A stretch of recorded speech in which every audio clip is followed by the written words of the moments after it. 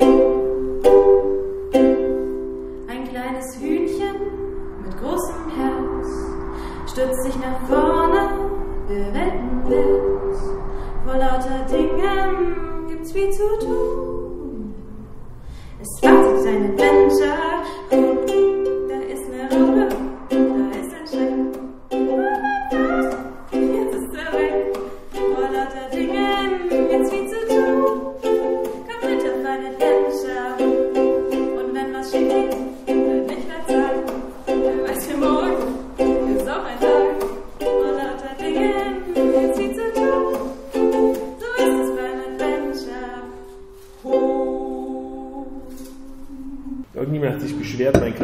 Vollsten in den Kommentaren. Das ist, weil ich am schnellsten trinke, aber das hat keiner gesagt. Fast ein bisschen wehleidig. Ja, mir brennen die Augen und die Hände vom Klatschen und äh, Die gerührt Augen. sein. Oh. Von dem Salz in den Tränen oder was? Salz, Tränen, trockene Luft, aber auch ein bisschen. Jetzt, ne? Jetzt wäre ein guter Moment. Hallo, hier sind wir wieder. Haben wir das nicht sonst auch so gemacht? Hallo! Na los, noch einmal. Okay. Ja, Jetzt schwitze ich schon vorher, bevor es losgeht. Ja, es ist halt keiner pudert, ne? Ja. So. Hallo, hier sind wir wieder, der Jojo, Und die Jenny, zum allerletzten, allerletzten. allerletzten Tag von unserem Comic-Talk und von diesem Seminar. Und zwar ist das der sechste Tag. Ich mache das diesmal alleine. Ja, ich habe noch überlegt, ob man Fancy irgendwie eine Sechs darstellen kann, aber nein. Ja, weißt du, wir hätten es so machen können, ich hätte es so gemacht und du Und- hättest es so gemacht. Ja, ja, verdammt. Nächstes, in Nee. zwei Jahren dann wieder. Genau. Ja, Punkt 1, äh, Supia. genau. Wir fangen an wie immer. Ähm, ich habe überlegt, was ich gut fand, ist zum einen diese wunderschöne Doppelseite, wo verschiedene Künstler ihre Interpretation von Amazone, Lara Croft äh, dargestellt haben, außer Martin, der hat es falsch verstanden, der hat sich als Superheld dargestellt. Nein, trage mal. Der Martin hat mich auch fast. Und meine Quietschi-Käse-Comic mit äh, Ralf König, der von Ralf König gelobt wurde. Das ist toll. Wir hoffen, er isst heute auch nochmal Quietschekäse. Dann sehen wir es mit völlig anderen Augen. Ähm, ich finde, was äh, wir auch einfach mal erwähnen sollten, was wir bisher noch nicht gemacht haben, ist diese tolle Serie der alten Knacker. Ähm, weil die gab es nämlich jetzt einfach zu jeder Ausgabe der zu viel. Und ähm, deswegen ein ganz großes Lob an die zwei ähm, Autoren und Zeichner, weil das ist immer in einer ähm, ja, Kombination Nils passiert aus Nils aus, und Jan, genau. Entschuldigung. Ähm, Nächster Punkt, sind wir da schon? Ja, ne? Lesungen. Nicht nur am Donnerstag, nein, gestern war noch eine Lesung, eigentlich eigens für den Bürgermeister. Wurde aber das, konnte nicht. die Besten der Besten herangekarrt, um hier nochmal aus den Comics vorzulesen, aber der Bürgermeister war nicht da. Aber ich glaube, wir hatten trotzdem viel Spaß. Ja, und der Bürgermeister sei entschuldigt, weil das Kind krank geworden ist. Ja. Und das passte, finde ich, thematisch ganz gut, weil wir haben gestern auch über Kinder gesprochen. Muss man entschuldigen, ist halt so. ne? Kann man nichts machen. Ist halt so. Angefangen hat ähm, Franziska Ruffler, Das die man auch im Intro gesehen hat. Adventure Huhn. Mit, mit ihrem Adventure-Huhn. Also, ich bin jedenfalls Prinzessin Molly.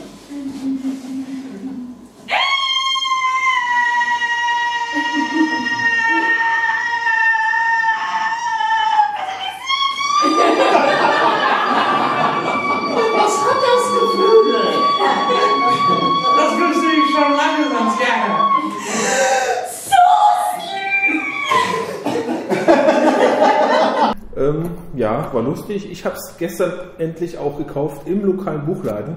Nachdem es ja überall ausverkauft war, musste ich das halb im Internet bestellen, aber dann in den Buchladen liefern. Ich glaube, das gilt. Ne? Ansonsten hatten noch gelesen, Der Detlef hat zum Beispiel Martin gelesen. hat gelesen. Die Seda hat gelesen. und dann bin ich irgendwann Die gegangen. Birgit hat diesmal nicht gelesen, aber die Sonja hat gelesen. Sonja hat gelesen. Das war Hertha, glaube ich. Und Nils Oskamp hat gelesen. Richtig, sehr gut. Wir kommen langsam auch durcheinander, weil wir Ja, so viele Tage merkt, mit so Woche- viel Programm hatten. Wir können das gar nicht mehr auf die einzelnen Tage runterbrechen. Lass uns schnell zum nächsten Punkt weitergehen. Genau. Die Demo. Heute war Friday, Friday for Future Demo. aber globaler Streik und auch wir waren da.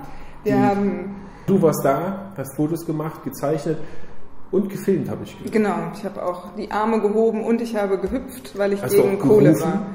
Ich habe gesagt, Zukunft. Wie war der Altersdurchschnitt? Ist das noch so eine Äh, Kinder-Jugendveranstaltung oder Wir standen ein bisschen am Rand und ich habe so geguckt. Ich fand schon auch sehr viele äh, Silver-Protestanten, wollte ich schon Ah, ist sagen, äh, Silver-Demonstranten dabei. Also ähm, auch, es ist nicht nur was für die jungen Leute, ist auch was für die älteren Leute gewesen, hat man gemerkt, aber auch äh, tatsächlich viele Schüler und was ich ja auch total toll finde, Schulklassen, die hingegangen sind. Also mit Lehrern und äh, Kindern, die einfach, ich glaube, die waren nicht älter als sechs. Also fand ich toll und ich bin äh, froh, dass es diese Bewegung gibt und ich freue mich, ähm, dass auch in Erlangen, einer Stadt, die jetzt nicht so groß ist, eine so große Demonstration war. Das ist schön. Das war wirklich schön. Nächster Punkt. Also bei mir steht nächster Punkt schon, dass wir unsere Gäste begrüßen. Nee, erst einmal die Leserbriefe noch. Ah, Lisa Früber ist eigentlich als Teilnehmerin dieses Seminar gemeldet, hat sich dann doch entschieden, lieber nach Kanada zu fahren, um da in einer riesigen Villa für zwei Monate auf äh, Kosten des Staates, ich weiß gar nicht, wer das bezahlt, irgendjemanden. ich äh, glaube Bayern zahlt das. Bayern zahlt das. Aber ähm, Lisa, du kannst das auch gerne in den Kommentaren klarstellen, wenn du das Falsches Alles behauptest. klar, was wir falsch hier labern. Aber die Lisa arbeitet da an ihrem Comic, das ist vielleicht auch Und noch wichtig zu sagen. Es scheint sehr langweilig zu sein in der riesigen Villa in einem Park mitten in Kanada, denn wir bekommen sehr viel Post von Lisa, ungefähr 50 Zeilen über Telegram. Ja, Ähm, Verbesserungsvorschläge, aber auch äh, Kritik, wenn wir mal historisch Genau. falsche Behauptungen aufgestellt haben. Ja, es wurde darauf hingewiesen, dass es sogenannte Lehnwörter gibt, wo der, das der Comic äh, dazu zählt. Und da verhält es sich so, dass die Wörter in unsere Sprache übernommen werden, dann zuerst äh, sächlich bezeichnet werden als mit das, aber dann im Laufe der Zeit halt äh, Artikel bekommen, wie der Comic zum Beispiel, und es dann beides gleichzeitig benutzt wird, was aber nichts darüber aussagt, äh, was nun richtig ist. Also wir könnten jetzt eigentlich auch hingehen und sagen, wir nennen es die Comic. Ja, und dann hoffen, dass in Dass es sich 50 durchsetzt. Jahren sich das durchsetzt. Dann sollten wir die Frage anders formulieren. Der, die, das Comic. Nee, nee, jetzt äh, Nee, müssen wir nee, alles nee. nochmal machen. In zwei Jahren. Auf jeden Fall vielen Dank auch für die vielen Chipmunk-Fotos, für die Frühstück-Fotos. Für diese Viecher, die so krabbeln, Das diese. Tausendfüßler. Nein, Ach das nee, waren stimmt, Tausendfüßler. Ja. Danke für die Tausendfüßler-Fotos. Das sind Chipmunks. ich dachte, du meinst die. Aber Nein, nein, nein, das war schon und falls jemand auch Lust hat, uns Bilder seines Frühstücks zu schicken, wie er Ja. unseren Podcast schaut oder von irgendwelchen Tieren, die man im Wald findet, wir sind immer offen. Genau. Einfach in die. Kommentare oder an unseren Instagram. Ja, wir stoßen an, hey. Äh? Oh, ich habe schon getrunken. Nein, weil wir haben noch nicht getrunken, auch wenn es heute ein bisschen so wirkt. Denn jetzt kommen die Stargäste der ganzen Woche, Ja, unsere Dozenten. genau. Das ist das, äh, der krönende Abschluss mit Ralf König und Birgit Weihe. Und ähm, die haben uns jetzt die ganze Woche begleitet, unsere Projekte sich in, in sich einverleibt und kritisiert und äh, vorangebracht. Und äh, Gerade eben hatten wir noch eine schöne Abschlussrunde. Wir sind quasi die Projekte alle nochmal abgelaufen. Die hängen hier draußen an äh, Stellwänden, heißt, glaube ich, der professionelle Begriff. Und da sind wir alle abgelaufen und jeder hat fünf Minuten zu seinem Projekt gesagt. Und es wurde sehr viel gelobt. Das war mir schon. aber auch peinlich. zu Recht. Also ich fand auch das Zu Recht. zu Recht. Es war ja auch nicht immer schön, nee, aber es sind wirklich tolle Arbeiten entstanden. Und ich finde, wir sollten vielleicht auch am Ende nochmal all die Teilnehmer, die wir nicht interviewen konnten, irgendwie äh, zumindest mal namentlich nennen. Dann kann sich der Interessierte auch im Nachhinein Ja. informieren. Vielleicht blenden wir an dieser Stelle einfach unsere Social Media Liste ein. Ich hoffe, das ist okay für jeden Teilnehmer. Ich denke schon, sonst wären wir nicht bei Sonst Social die Media, es nicht oder? draufschreiben. Oder haben die es nur für uns draufgeschrieben? Hey, du kannst ja nicht Ja, das wäre dumm. einen Instagram-Account haben und willst nicht, dass den dir, Secret- sich jemand anguckt. Secret Instagram. Wenn, dann ist er gesperrt. Ja. Findet es heraus, wer von den Leuten auf der Liste gesperrt ist. und, Und dann, dann, aus und dann bitte Grund. nicht belästigen. Ja. Und jetzt ist es soweit, wir rufen herein äh, Birgit und Ralf.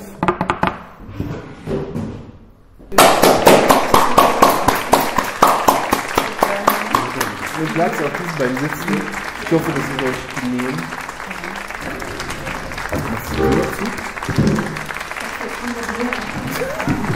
Noch mehr Dozenten. Ja, herzlich willkommen in unserem Podcast-Format. Wir sind Profis und fragen als erstes, was wollt ihr trinken? Wasser. Achso, wir haben Wasser oder Wein. Wir trinken übrigens Wein. Maracuja-Schorle. Nee, Wein. Da ist ja gleiches. Ja, gleich Frage vorneweg, wie waren wir? Ach super, ganz großes Ja. Kino. Jetzt geht das Gelobe weiter. Jetzt geht das Gelobe weiter. Ich glaube, wir sind heute auch aufgeregter als die anderen Male. Aber ähm, vielleicht einmal kurz zu euch. Was wir total toll finden an dem Seminar ist, dass ihr beide ähm, sehr unter unterschiedliche Art und Weisen habt, die Themen anzugehen und eure Projekte und äh, überhaupt inhaltlich. Und wir fanden das total bereichernd, dass ihr verschiedene per Perspektiven habt und anbieten konntet. Und ähm, wir haben uns aber witzigerweise überlegt, äh, ihr habt aber auf jeden Fall eine Gemeinsamkeit, und zwar Thema äh, Nicht-Digitalisierung. Ist auch Ralf. Denn Ralf wurde ja jetzt schon halb digitalisiert Ja. mit seiner Wie Schrift. siehst du das, Du Ralf? eigentlich auch, Birgit? Kommt das mehr von dem anderen Ralf oder war das auch dein Anliegen, Mit der Schrift? deine Schrift zu digitalisieren? Ähm, das, ich hatte mal vor vielen, vielen Jahren irgendeine Art von Nervenleiden. Ich habe keine Ahnung. Ich konnte den, beim Zeichnen den Stift nicht mehr richtig halten. Das war vielleicht Leistungsdruck, was die Psyche mit einem macht. Jedenfalls, ich habe gezeichnet und sofort verkrampfte sich meine Hand und ich habe dann wirklich wie so ein, ich habe den Stift so richtig festhalten müssen, um diese Rundungen zu kriegen. Das hat man so krickelig, wie ich damals gezeichnet habe, den Zeichnen nicht mal so angemerkt. Aber beim Schreiben, das war total äh, schwierig. Bist du Die- Linkshänder? Ja. Dann ist Schreiben ja sowieso nochmal irgendwie. Nö, das ist gar nicht. Nee, nee. Ach nee, du schon, machst nicht mit Auch das Tusche, ist, ne? ob, ob rechts oder links, das ist. Nee, weil mit Tusche verwischst du es halt immer. Nö, das ist ein Nee? Vorurteil. Also Echt? ich habe ich hab noch nie was verwischt. weil ich- hat schnell trockene Tusche. Nee, ich glaube, das, ist- das, sind so, das sind so Dinge, die hört man immer, aber das ist mir noch nie passiert. Also, nee, also links, die linke Hand ist nicht das Problem. Aber ich, wie gesagt, irgendwas war da los. Ich hatte irgendeinen Stress im Leben vielleicht. Das hat sich dann so ausgewirkt. Und da war das mit der Schrift. Die Comics, die in dieser Zeit entstanden sind, kann ich selber kaum lesen. Die sind so krickelig. Und da habe ich damals versucht, mit so einem Schriftform zu arbeiten. Das war aber damals technisch noch ganz am Anfang. Ich musste da so ein Formular ausfüllen, wo ich die Buchstaben so rein. Und äh, natürlich, meine Buchstaben waren viel kleiner als diese Kästchen. Ich habe die auch nicht in die Mitte genau setzen können, wie das so ist. Und das sah einfach scheiße aus, weil die, die tanzten dann immer.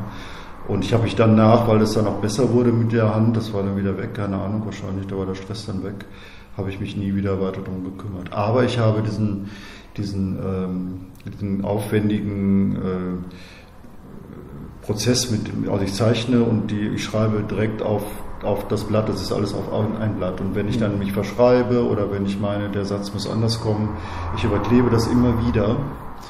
Und ähm, das, ist, das, das macht bei mir die, halb, die halbe Mühe beim, beim Comiczeichnen, das Schreiben. Und, und da dachte ich, ich habe das, ich habe jetzt mal kurz so ein, ja, was anderes gemacht. Ich habe so eine, egal, so, ein, so eine Frankenstein-Kurzgeschichte gemacht. Und da habe ich zum ersten Mal nicht meine Schrift genommen, sondern irgendeine Computerschrift, die ich ausgedruckt habe und habe das dann aufgeklebt auf das Papier. Das war super einfach.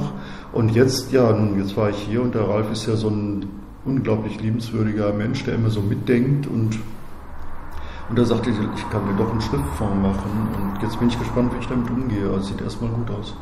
Und wie lange dauert es noch, bis du dann direkt nur noch am Computer arbeitest, auch zeichnen? Ich glaube, das werde ich nie machen. Dazu zeichne ich zu gerne. Also ich, ich, ich, für mich ist Zeichnen Papier und Stift und ähm, ich möchte danach auch Originale haben. Ich, also wenn das nur als Datei ist, äh, ist das für mich irgendwie nicht anwesend. Das geht aber in allen so, ob das Musik ist oder Filme. Wenn ich kein Cover habe und ich habe das zum Anpacken, wir, wir sind halt, ich bin so ein alter Sack halt, ich, ich brauche das Material so und deswegen, ich werde glaube ich nie auf dem Computer zeichnen. Ich weiß, das ist vereinfacht vieles, aber ähm, nee, das ist nicht mein, das, das ist nicht mein Wunsch. So. Birgit, von dir wissen wir, du hast es mal versucht. Es gab so einen Ausflug. Magst du erzählen? Naja, es, ähm, es zeichnen ja hier inzwischen die meisten auf dem iPad oder äh, sonst irgendwie digital und dann dachte ich, das sieht schick aus und es geht schneller und es könnte ja auch was sein und ähm, es ist mir auch nicht gegeben. Also ich kann immerhin kolorieren und ich habe meine Schrift schon digitalisiert. Das finde ich auch, das finde ich richtig toll und richtig praktisch, das nicht per Hand zu schreiben. Aber ähm, grundsätzlich zu zeichnen geht es mir auch so. Ich brauche das Material. Also ich will, ich habe auch so einen Tick, dass ich mein Papier immer grundieren muss, was total aufwendig ist und total bescheuert. Aber irgendwie habe ich mich so daran gewöhnt, dass ich, dass das eben dieses Raue ist. Ich, ich kaufe so ganz billiges Papier und damit ich mit Tusche drauf zeichnen kann, versiegel ich das mit Fassadenfarbe.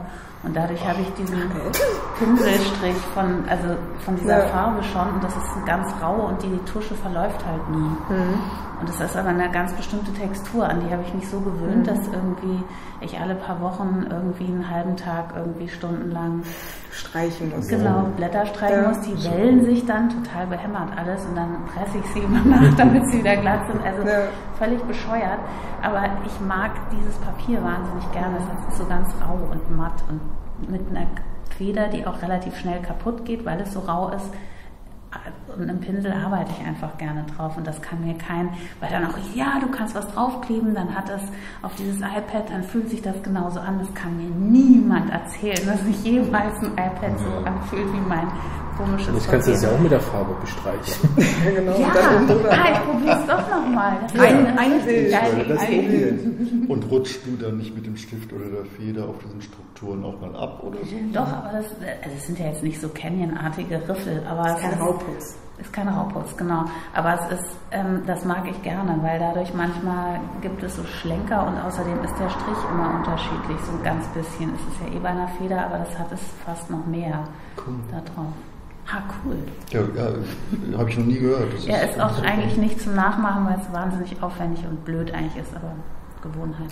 Finden wir nicht, weil ich glaube, dass das so eine Form von Stil ist und jeder von euch hat eben über die Jahre ja auch so eine Form von Stil entwickelt, die einfach in diesen Arbeitsabläufen ist oder entstanden ist. Ja, ich das hast du sehr schön gesagt. einfach mal so sagen. Ne? Wir haben übrigens nicht angestoßen miteinander. Ach so. Oh, ja, das Ja, ich sofort ja auch ganz kalt, ganz kalt Direkt eingestiegen. Danke für die Einladung. Prost. Aber vom Material her, sage ich mal, ich, ähm, ich mache das jetzt seit 40 Jahren und habe immer noch nicht mal ein bestimmtes Papier. Also ich höre von anderen Kollegen immer, dass sie dieses Papier, das lassen sie sich manchmal auch anliefern aus Japan und was der Teufel, weil es dieses Papier sein muss oder die Tusche oder so. Und ähm, ich, ich habe immer Blöcke, die, wo die Qualität des Papiers sich innerhalb des Blocks manchmal äh, ändert. Und dann habe ich dann plötzlich ein Blatt Papier, wo dann der Tuschestift oder der Feinliner eben nicht sofort trocken ist. Dann passiert das mit, mit dem Verwischen, aber es hat weniger mit der linken Hand zu tun, als einfach mit damit dass Arbeitest das. du mit Tusche denn? Und Feder oder? Nee, Feinliner habe Ah, ich. Feinliner. Aber das ist ja auch letztlich eine, eine schwarze Tinte, die eben auf dem Papier, wenn, sie, wenn das nicht sofort trocknet und das Papier diesen bestimmten Sauggrad hat, sage ich mal, äh, dann bleibt das ein paar, äh, lass es nur Sekunden, zwei Sekunden sein, ist es dann auch feucht. Und dann fängt das Geschmiere an. Und das macht mich wahnsinnig. Und da habe ich so verzweifelt das Papier gesucht, das das nicht macht und äh, habe ich heute noch nicht. Das ändert sich immer. Ich, keine Ahnung. Deswegen finde ich das ja, auch wenn du da viel Arbeit mitmachst, aber wenn du dann weißt, was du hast und das ist es dann, ist auch schon was wert. Haben wir Fragen zu Du Technik? Ich habe, fragen? nein, ich fand das so schön, weil ihr euch so gegenseitig gefragt habt. Da habe ich mich kurz gefragt, ob ihr den anderen jeweils um einen Tipp fragen würdet oder irgendwas. Tipp.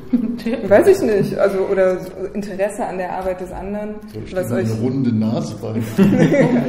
runde Nase, Papier, Bearbeitung.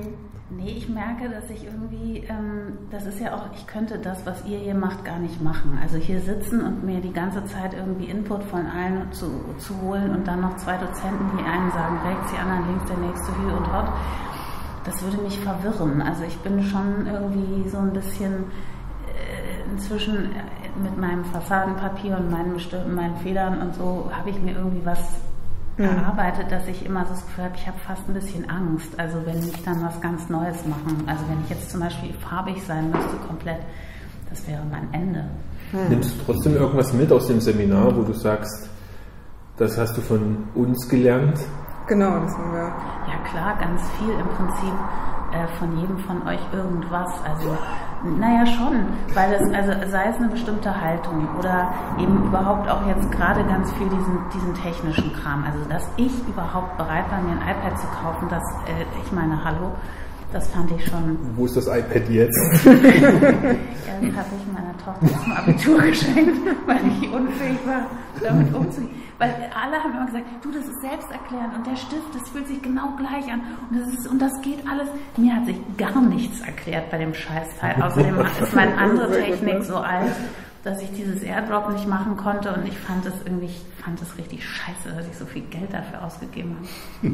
Aber die Tochter hat sich sicher Ja, gefreut. wenigstens konnte ich mich jetzt bei der einschleimen mit so einem mega teuren Geschenk. Hast Also du irgendwas mitgenommen, Ralf? Mit was mitgenommen? Ja, aus dem Seminar. Ähm, Also einige Teilnehmer, das, das war so unterschiedlich. Manchmal ähm, jetzt vom, vom, vom Zeichenniveau her, ähm, da, da gab es ein, ein paar Teilnehmer, da, da wollte ich denen gerne vermitteln, vielleicht habe ich das auch ein bisschen, dass sie sich freizeichnen müssen, dass, dass sie nicht so, sie haben da eine bestimmte Mimik drauf, von wie ein Gesicht zu funktionieren hat, so zwei Augen und so, aber ähm, das können sie dann und dann haben sie das immer wieder so wiederholt und ein bisschen Angst gehabt, dass vielleicht mal ein Strich daneben gehen könnte, diese Vorsicht dabei. Das habe ich damals jedenfalls in meiner, ich habe ja Kunst studiert in Düsseldorf ähm, und, und da habe ich von meiner sehr resoluten Professorin damals, äh, die einen echt fertig machen konnte, aber die hat manche Sachen mir wirklich auf den Weg gegeben und das war einfach ähm, den Mut zu haben, dass es mal falsch ist und nicht immer auf, auf, auf das, was auf das Resultat zu, zu schielen, dass es jetzt unbedingt gut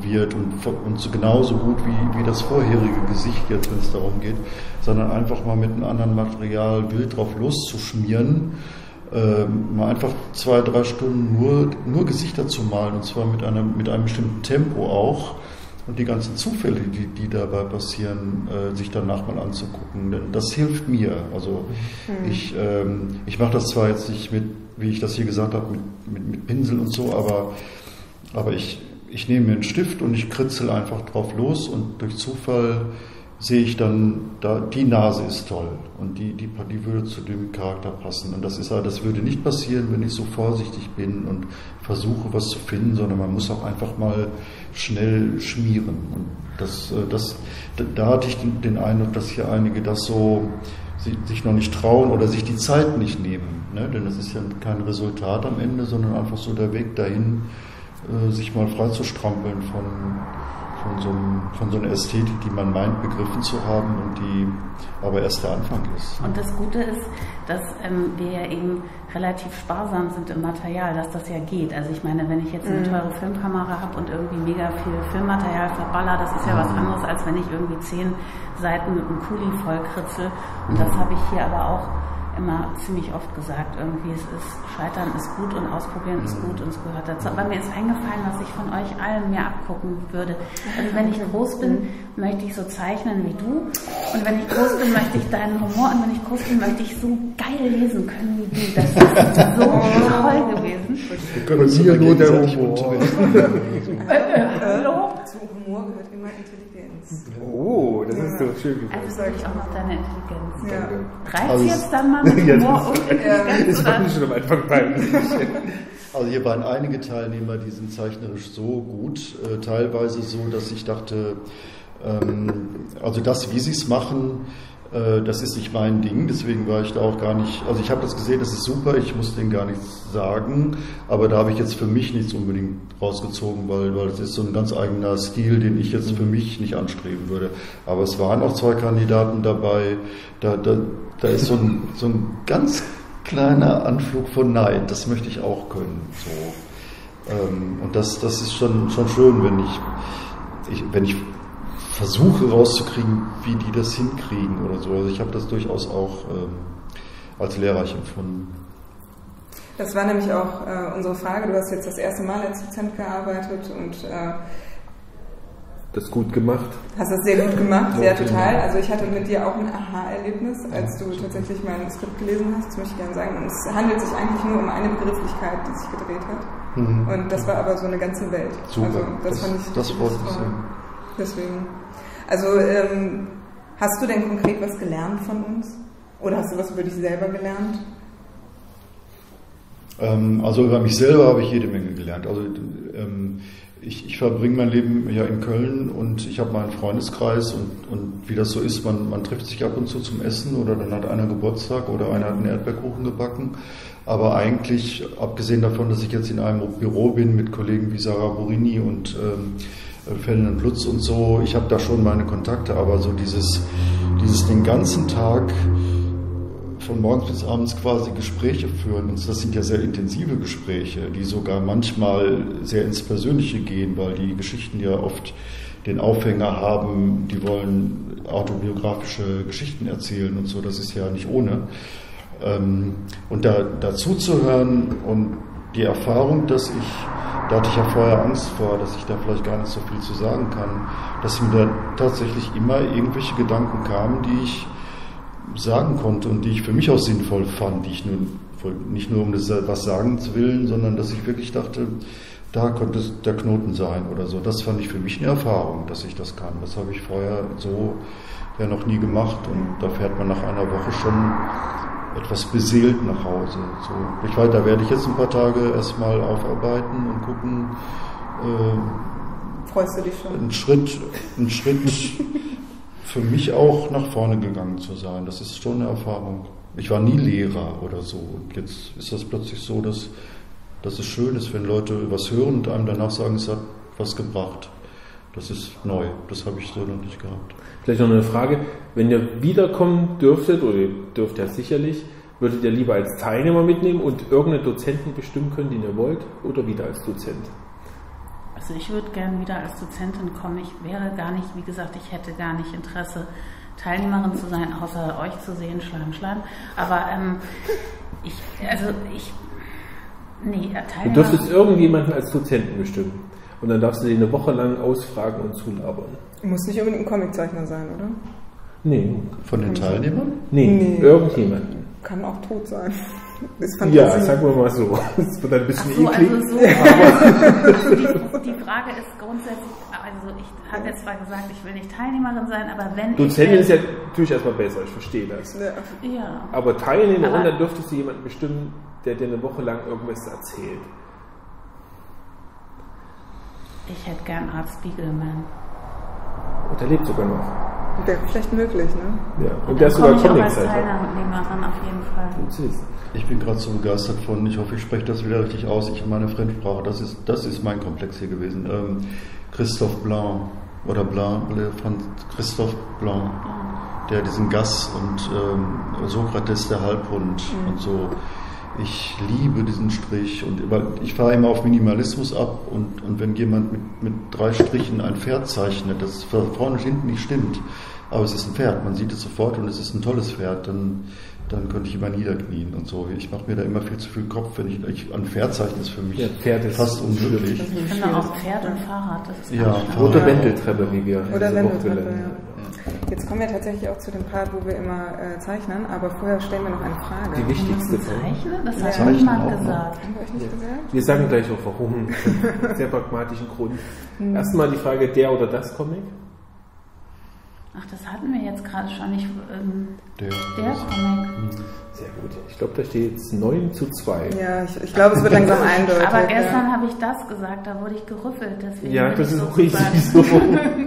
genau. Der Grund ist, die Supir ist noch nicht voll. Wir brauchen Supierbeiträge und ihr dürft jetzt äh, irgendwas Interessantes für die Supir zeichnen, was euch in den Kopf kommt. Also beim letzten Mal haben wir auch uns einfach randommäßig vier Begriffe ausgedacht, falls das bei, äh, einfach ist für euch. Begriffe, die wir dann zeichnen sollen. Da kommt bestimmt Fahrrad und äh, Fahrrad, Pferd. Auf einer Wendeltreppe. Und Ein Pferd, Pferd, das Pferd? auf einem Fahrrad eine Wendeltreppe Mir ist schlecht, ich glaube, ich muss gehen. Ah, ihr macht ja echt Sachen. So kann man als Comiczeichner nicht einfach nur labern. Wieso muss man Ja, warum? Und das soll jetzt Ach in nee, die Zeitung. scheiße, die hat noch gar keine Fühler. Ist die Raupe vom Adventure Home? Ja, weil ich bin so ein bisschen traurig. Ich hätte eigentlich die Rolle ja lesen sollen, aber gestern ging es mir nicht gut. Ich hatte so mega Kopfweh und die Vorstellung, neben dem Aven- Adventure-Hund zu sitzen, das hätte ich dann, also Das das hätte ich nicht Die ausfüllen Szene mit dem I.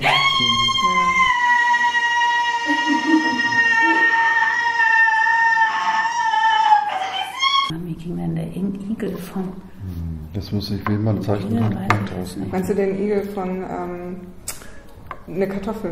Eine Kartoffel mit Nadeln, Ja. wie Nils das beschrieben Nee, hat. das schaffe ich jetzt nicht. Mann, das wird nichts. Ich bin jetzt ganz, Echt? Ja. Nein, das ist großartig. Ja, aber ich weiß ja nicht, worauf ich hinaus will. Das ist, doch- das ist genau wie bei einer Signierstunde. Ja.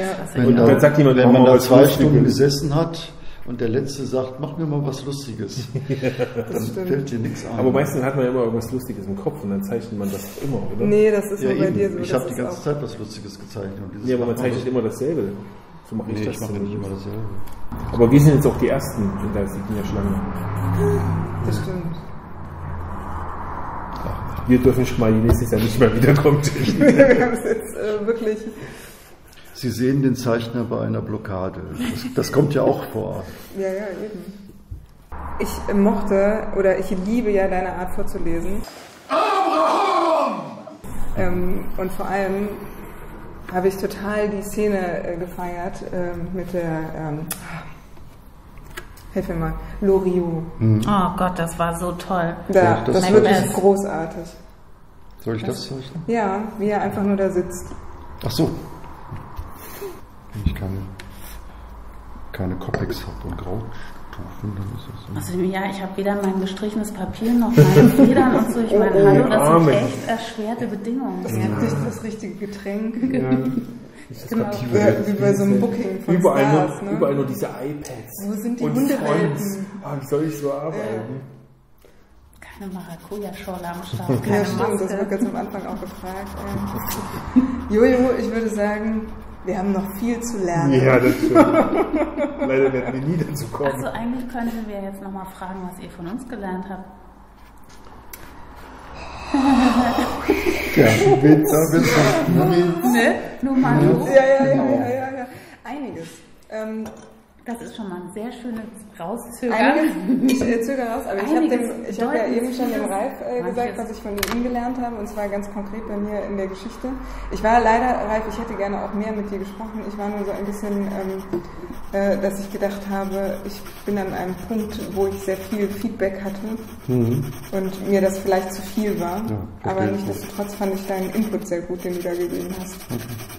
Also das war ein ganz konkretes Lernen am Fall in der Story, in der, indem man einfach nur die Bedeutung dreht. Äh, von Birgit habe ich so viel gelernt, da weiß ich gar nicht, wie ich anfangen soll, weil sie ja mein Projekt schon drei Jahre begleitet hat und so. Ja. Ich hatte mit Birgit ja zumindest Gespräch, da habe ich was konkret auch am Fall gelernt von meiner Geschichte. Adonis. Adonis kommt immer zuerst. Ein Adonis, Adonis kommt zuerst, genau, das ist die Grundregel, die mir nicht bewusst war. Und von äh, Ralf habe ich nichts direkt gelernt, wir haben uns, glaube ich, auch nie wirklich lange unterhalten. Nee, weil du schon so weit warst und ich fand das großartig, was du gemacht hast mit diesen Online, mit diesen Webseiten, mit diesen Webcomics. Ich kann es gar nicht verstehen, dass du das nicht äh, professionell und äh, davon irgendwie noch äh, profitierst. Das ist mir so altmodisch, so. Bücher, super, super. Papier, anfassen. Das nimmt Nee, Platz. nee, das, ja, nee, wegen, nicht wegen Papier, du kannst es ja so machen, aber das ist so gut, dass ich denke, das müsste viel berühmter sein. Das, müsste, Ja, müssten das finde ich aber auch.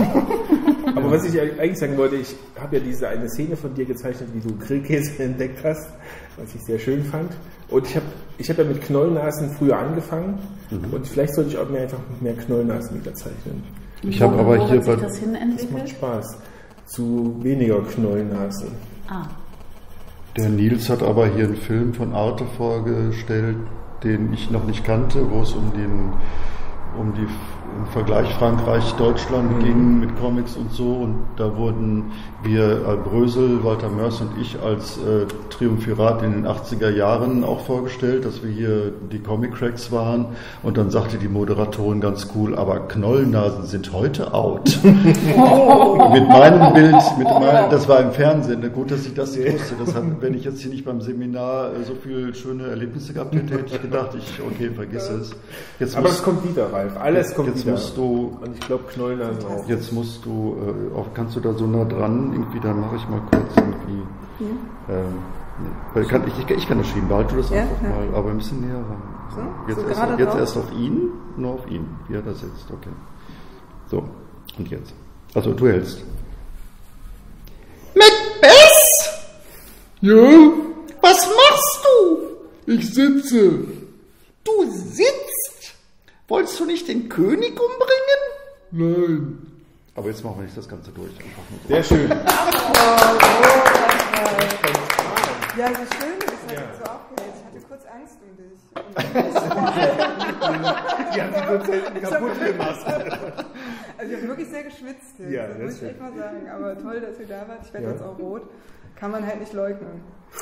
Das war sehr Fantastisch. Ja, vielen, vielen Ja, Dank. das war's auch mit dem Comic Talk. Wir sehen uns vielleicht in zwei Jahren wieder. Genau, das oder war's auch mit dem auch Comic-Seminar. immer. Nochmal einen großen Applaus an unsere Dozenten und Und an an euch. alle, die da Und an euch, genau, dass ihr das Ja, alles wir werden sehr. Und diese, da sieht man, was die anderen auch gesagt haben, auf im, Im Internet. im Internet. Aber ihr seid das ja habe ich ja wieder nicht. Das muss ich wieder meinen Freunden beauftragen, das zu Genau. finden. Wir machen hier so eine Kassette. Wir schicken dir einen Brief. Eine Kassette, Ja, genau. genau. Eine Video-VHS-Kassette. Oder mal Dankeschön, dass ihr Danke.